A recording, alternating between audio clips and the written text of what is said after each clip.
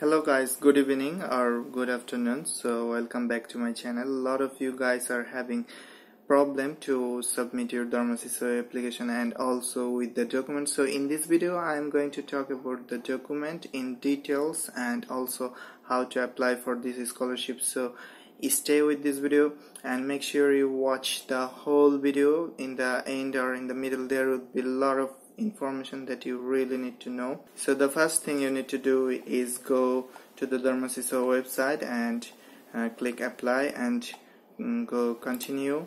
And you have to create your account or profile here. So if you already have you can log in that. And if you haven't created that so you need your passport number so make sure you write your passport number name everything correctly because once you submit you cannot change it again.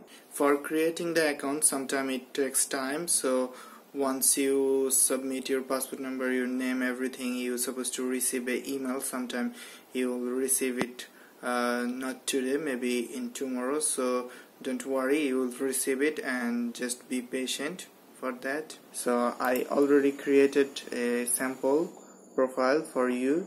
So this is the profile I already logged in and uh, fill out all the information that are mentioned here. So your um, status your marital status. If you are married you can apply. If Darmasiswa committee does not know you can get the scholarship. For selecting the embassy name you have to select the Indonesian embassy of your own country uh, the country you are citizen of. If you does not have Indonesian embassy in your country you have to select your nearest country that is responsible for your country. So you have to research about that. You can send email to your nearest nearest embassy to make sure. In the first page as you can see we need your photo. So the photo the file is JPG so if your file is in different format you cannot submit that. So you have to convert that. The maximum size is 250 if you do a little bit of mistake the file would not work. So uh, if it is the size is less it doesn't matter. But if it is larger than the maximum capacity then it then it not it would not work. Okay so then for the passport a lot of you are actually having problem with the passport. So passport validity at least 18 months for the time of arrive in Indonesia. So this passport validity you need this for visa. For applying you does not need this. If you have it it's good. If you don't have it apply. And once you get accepted from this scholarship you can reissue your passport for that uploading the CV it's very simple. You need to write a CV so if you want to see a CV sample I can show you. So this is the CV the name and uh, some contact information education career career application information. You does not need to add lot of information because you are not applying for a job. Rather you are applying for Darmasiswa so you can uh, add information that is related to Darmasiswa maybe your language skill or something what experience you have that is related to CISO for the medical certificate a uh, lot of you are asking for this. So in the website there is not much information what type of medical test you need. So actually you does not need to do a medical test. If you just book an appointment with a doctor the doctor will check your pressure and maybe doctor will talk with you. Then he will issue a document that you are mentally and physically fit for applying for any higher education. So if you want to see a example this is the example. It is on his pad. He will write your name. Maybe he can also add your passport number here. This is very simple. And uh, for disclaimer this is what worked for me. I'm not responsible for any failure. Uh, and as you can see the file it is PDF and maximum size is 1 MB make sure you submit the proper file format and the size. If it is small it doesn't matter. So I can add some website there you can do it in online if you does not have the converter. Check out the description. So once you added your personal data now Indonesian scholarship. So Indonesian scholarship if you previously had any Indonesian scholarship you awarded from Indonesia you can mention that or most of you are new in Darmasiswa program so you does not need to add anything. Just skip this and emergency contact. So you will write your phone number in your personal information. For the emergency number you will write maybe your father's or brother or maybe your mother's number and emergency contact number in Indonesia. So if you does not have any number any relative in Indonesia it's not mandatory. Just skip this part and for last education. So you will uh, write your university or whatever whatever last degree you have your major. So in college most of the uh, education in most of the country the education system is like you have commerce subject or maybe related to business and there is related to science and related to arts. So write down whatever major subject you have your entry your graduation year and if you finished or one going you can mention that. Okay. So for the recommendation letter so this recommendation letter would be issued from your last education institute. So for me I didn't even uploaded my rec recommendation letter. Rather I had a testimonial from my last college. So I uploaded that and it worked. And last diploma certificate. So this is your certificate. So check out what file they are asking. They're asking for PDF and upload your transcript. So transcript what is transcript? Some of you are uh, concerning about this. Maybe you don't have this system in your country. Transcript is where the most of the number information is written. So this is an example of transcript. You have the subject name and you also have the number how much how many number you got in each subject. So I think it's quite clear about the transcript. And for the transcript if you don't have the transcript you can also add any related mark sheet. Now let go back to what? Related certificate. So what is related certificate? Suppose you are a culinary student you are applying for culinary art. So maybe you have work experience in restaurant you can mention that.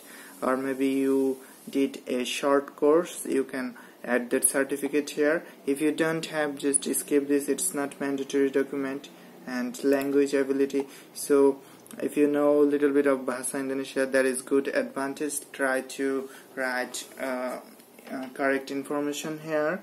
Uh, and if you add a lot of different language they might also take your interview in a lot of different language. So keep in mind uh, I already know about someone who had this situation he told that he know five different language and he had the interview in five different language so that was quite funny any English proficiency certificate is not mandatory. It says if applicable.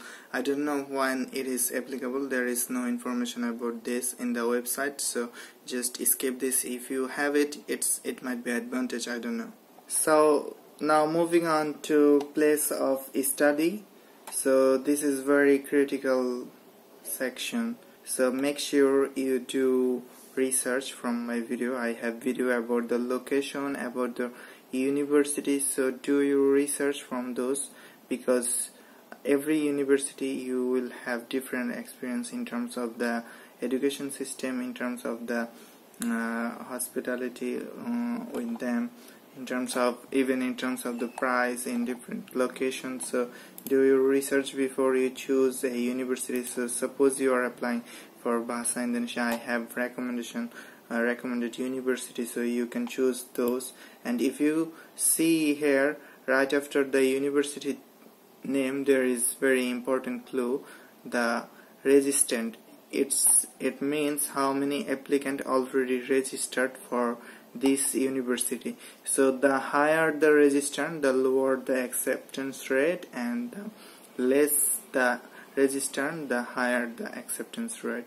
So um, there is no specific number which university will accept how many students but previous year the maximum amount was 36 students accepted by one university and the lowest was two students accepted by one university. So uh, if you are good in English and you already watched most of my video you know most of the information then you can apply for any university. Whether it has more than 100 applicants it doesn't matter.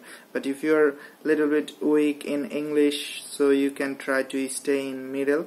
But I don't recommend to go to too lower unless it is recommended university from my video because suppose you apply to a university that only had 20 registrants so uh, out of those 20 they already applied for another university for the first option. So even if they accept 20 they would not get 20 they might get 10 after that some of them don't even join the program so you will end up with seven students. So maybe you will feel lonely but if you have around 20 students in a university you have lot more diversity. You can have friends from many different countries. That is very good advantage. And yeah, because you are coming here new for one year you I don't think you want to uh, feel lonely here. You want to enjoy this time. So try to um, apply for uh, university that is in the middle or it doesn't matter if you are good in English you can apply any university. Don't try to go too lower unless you are really weak in English. So just to give you an example of the um, English proficiency in terms of Dharma So most of the Dharma student is not fluent in English once they arrive here but after they arrive here they slowly get fluent in English. And for me I wasn't even that much fluent in English when I applied. My university has 90 applicant and I got selected out of 90 they only accepted maybe 15 so, now we are only 7 so you can make a decision based on this. And I think you still have the question which university I should choose.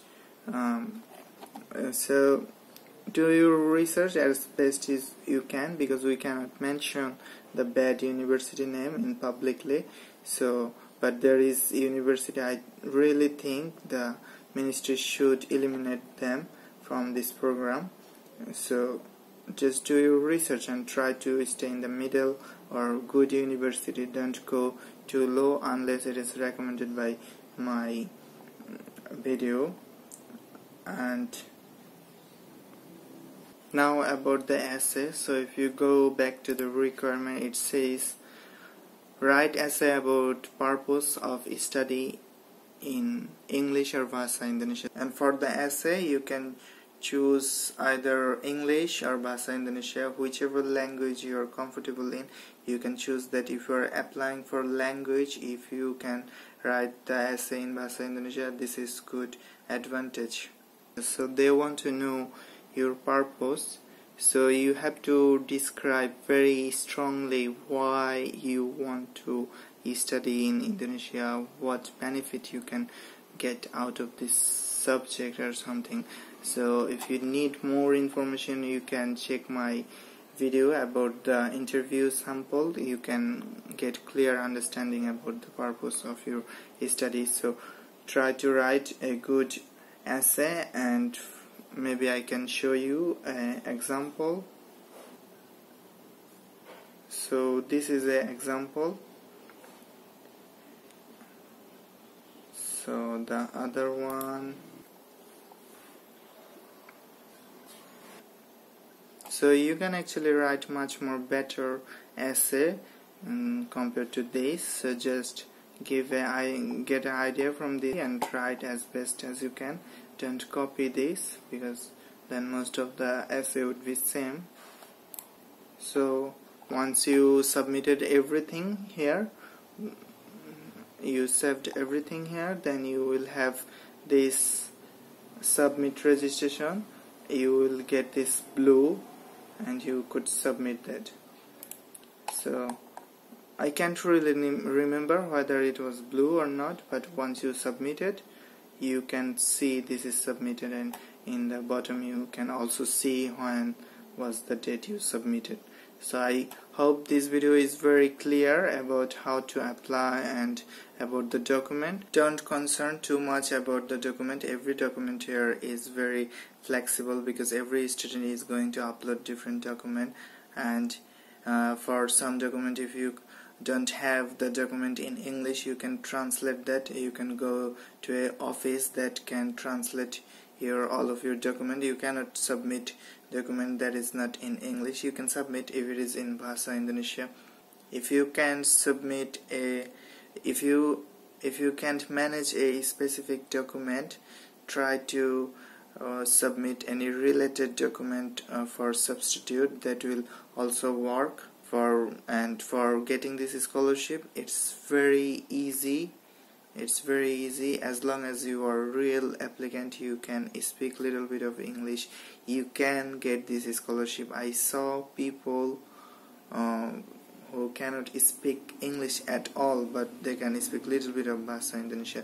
So they applied for Bahasa Indonesia and they got the scholarship. And I uh, trust me majority of the student they are not fluent in English. They are becoming fluent in Indonesia. So just apply and as soon as you apply through this website you will have interview in the embassy and the embassy in the embassy the interview is like oral test.